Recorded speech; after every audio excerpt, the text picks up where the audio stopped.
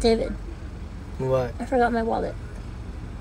Did Hurry. you forget your toothbrush too? Cause I forgot my wallet.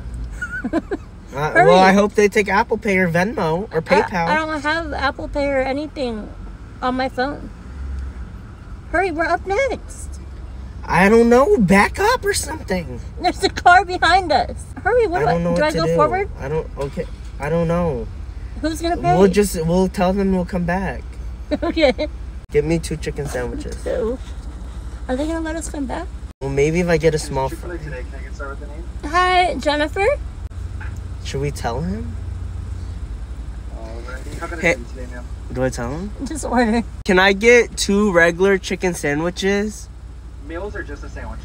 Just a sandwich. I don't have meal money. Um, do do we want a small fry? Yeah, whatever you want.